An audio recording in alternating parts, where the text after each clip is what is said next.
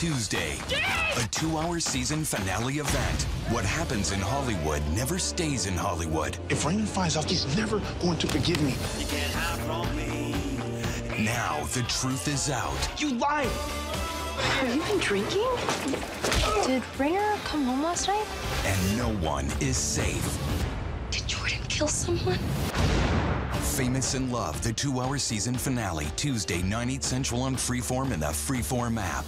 I really don't know what you're waiting for. Subscribe right now. You just gotta, you just gotta do it. You just gotta subscribe. Just You know just- you want to. Just do it, please. Yes. Please. Press the button.